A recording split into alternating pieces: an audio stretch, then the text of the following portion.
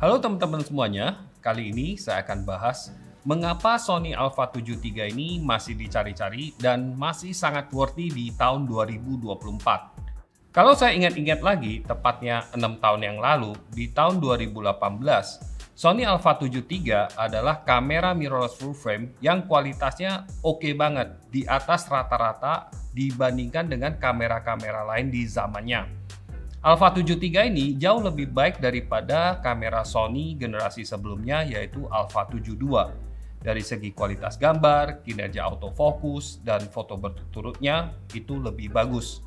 Dan yang menurut saya paling penting adalah kualitas warnanya, terutama untuk warna kulit, terlihat lebih baik, lebih alami.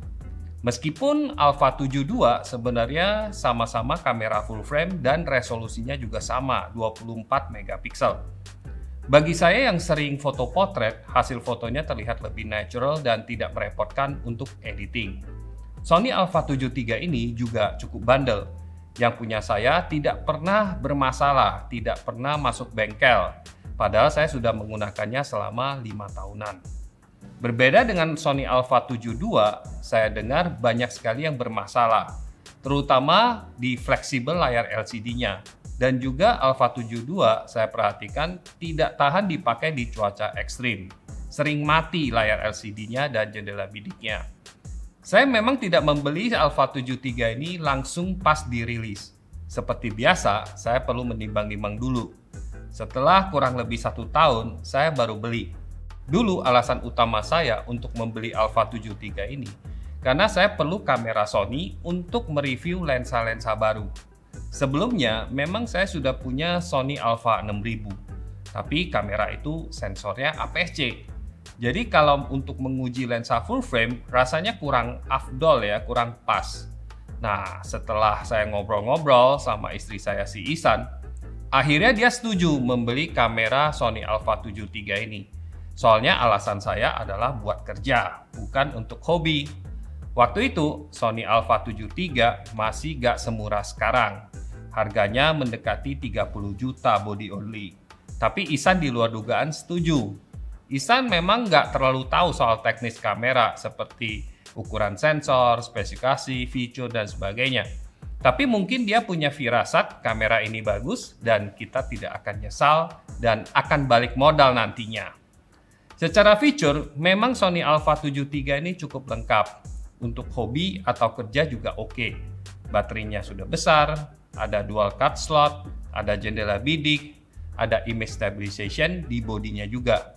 Waktu saya diundang di launching kamera Sony di Singapura, kurang lebih beberapa tahun yang lalu, saya pernah berkomentar ke salah satu manajer Sony. Kalau Sony Alpha 73 ini menurut saya itu terlalu canggih untuk zamannya.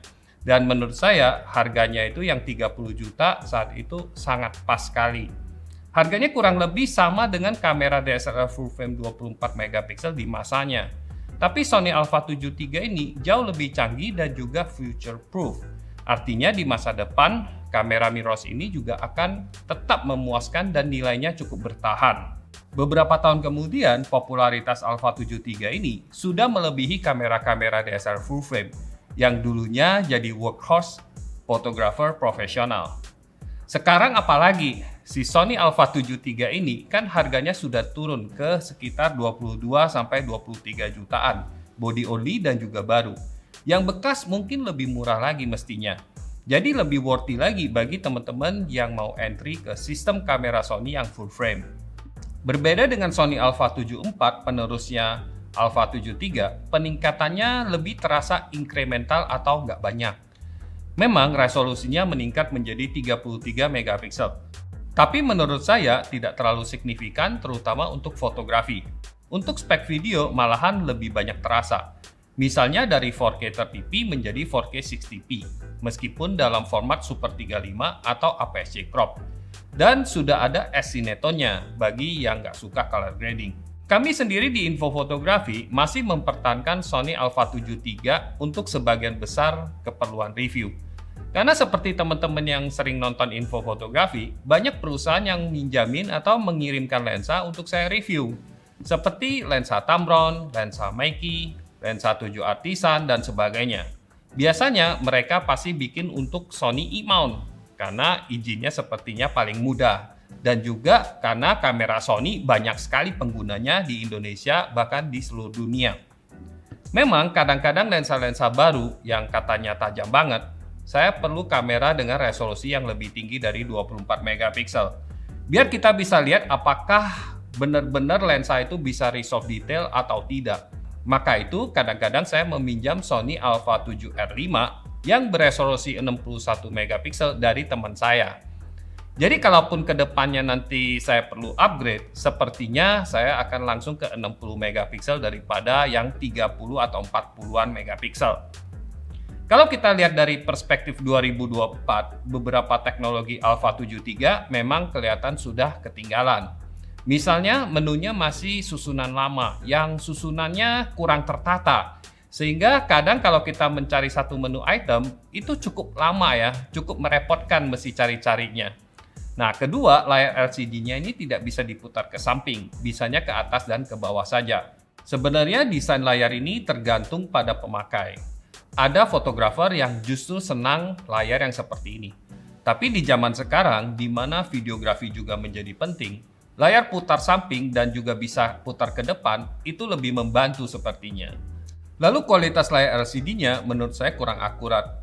Artinya apa yang didisplay di layar itu berbeda cukup jauh dengan hasil yang akan kita lihat di layar besar monitor. Kadang-kadang ini bikin saya agak ragu di lapangan.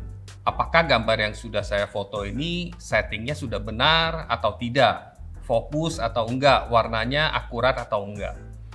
Satu lagi tentang sistem autofokusnya.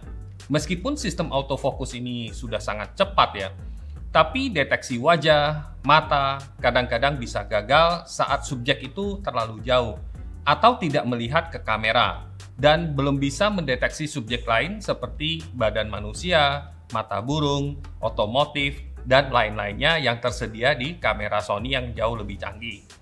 Di sisi budget, harga kamera yang sudah 20-an juta dan harga kamera bekas yang mungkin di bawah 20 juta, menurut saya ini jadi sama dengan kamera-kamera Sony yang APS-C seperti Sony Alpha 6700. Alpha 6700 itu adalah kamera mirrorless yang lebih canggih memang karena dirilis baru-baru saja. Dan saya juga sudah bahas perbandingan kedua kamera ini di video yang terpisah. Teman-teman nanti bisa nonton. Tapi menurut saya Alpha 73 ini masih unggul dalam hal ekosistem lensa, terutama untuk lensa full frame Sony E-mount. Menurut saya lebih banyak pilihannya dari yang murah, dari pihak ketiga, atau dari Sony sendiri. Memang sih, Alpha 6700 itu juga kita bisa pasang dengan lensa-lensa APS-C dan full frame-nya Sony. Tapi kalau dipasang dengan lensa-lensa yang full frame jadi kurang optimal karena sensor APS-C ini kan hanya memanfaatkan sebagian dari lensanya saja. Sony juga punya kamera full frame dengan harga yang cukup mirip, misalnya Sony Alpha 7C. Ada peningkatan sedikit di Alpha 7C ini di kinerja autofocus dan video, tapi secara umum banyak juga yang diturunin. Seperti kualitas jendela bidiknya dan juga memory cardnya cuma satu slot saja. Kalau teman-teman lebih suka videografi, Alpha 7C menurut saya oke okay juga karena ukurannya yang ringkas itu lebih mudah di rig atau dipasang di gimbal. Alpha 7C dirilis setelah Alpha 73 dan karena Sony Alpha 7C ini malah terkesan sedikit downgrade dari Alpha 73, maka itu saya juga tidak merasa terlalu menyesal beli Alpha 73 sebelum menunggu Alpha 7C-nya rilis. Sisanya belum ada keluhan lagi sih. Jadi menurut saya, Sony Alpha 73 ini tetap merupakan kamera mirrorless full frame yang solid bagi teman-teman yang mau masuk ke sistem full frame dengan budget yang cukup terbatas. Kami juga belum berencana menjual kamera ini. Mungkin kalau 1-2 tahun lagi ada Sony Alpha 75 yang akan hadir dan peningkatannya signifikan, saya mungkin akan menimbang-nimbang untuk upgrade. Tapi sementara itu kita hold on Alpha 73 ini dulu.